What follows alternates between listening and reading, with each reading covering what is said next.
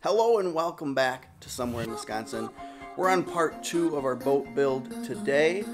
My goal today is just to get these floors done and installed.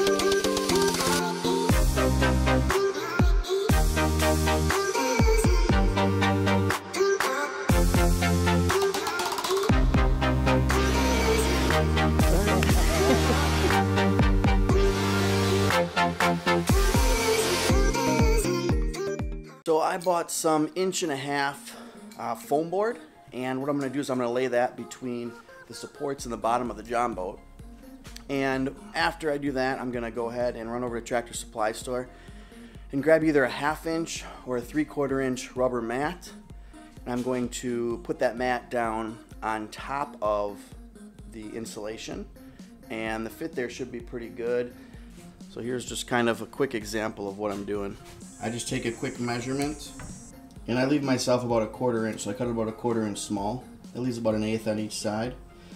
So I'll cut this piece at 10 and 3 quarters. Some people do some crazy stuff to cut this, but I just kind of score it and break it. That's kind of how I do it. That's what I'm gonna do right now. We really need to push that hard.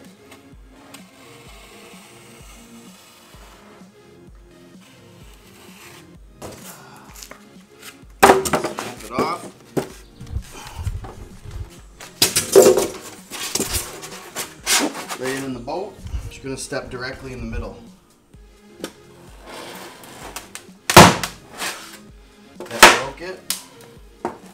My first four boards I broke actually broke perfect, the foam board.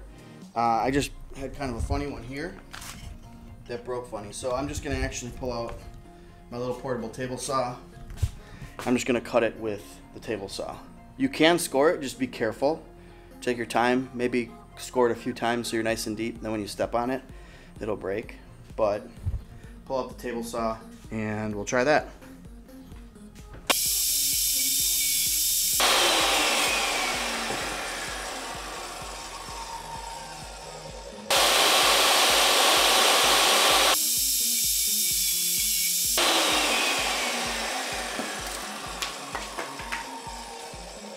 Saw works really good.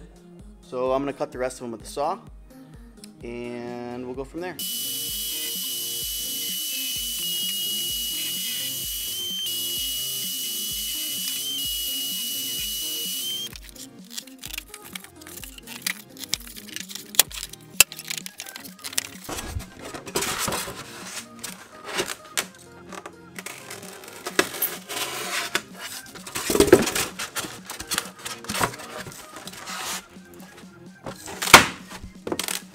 First part of the floor project is done. Uh, next step is to run over to Tractor Supply and get either some half inch mat or I think they might even sell horse stall mat. I'm not really sure. I gotta figure that out when I get there. Here's what we have done so far. All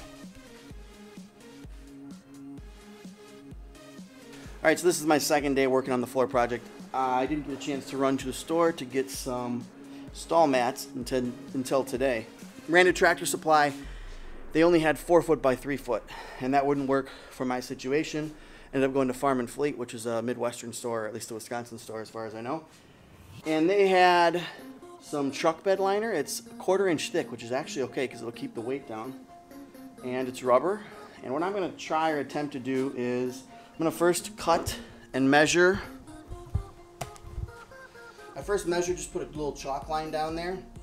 And I'm gonna cut that. I'm gonna use this tool right here. And I tested a little pot, spot of it. I think it's gonna work great. So I'm gonna cut with this.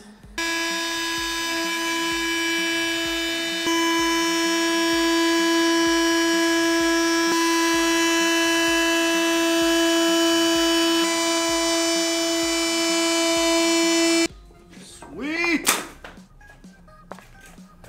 That worked awesome.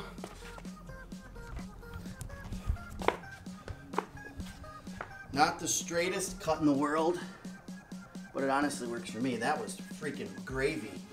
Get one of those. My goodness. Got to measure the width, so that's what I'm doing now. Measuring the width of the boat, and then I'll make my cuts for the width, or one cut for the width. And what I did here, so I don't mess up the floor, is I just laid the board under there. Gives me a nice gap to cut on. And I just cut away.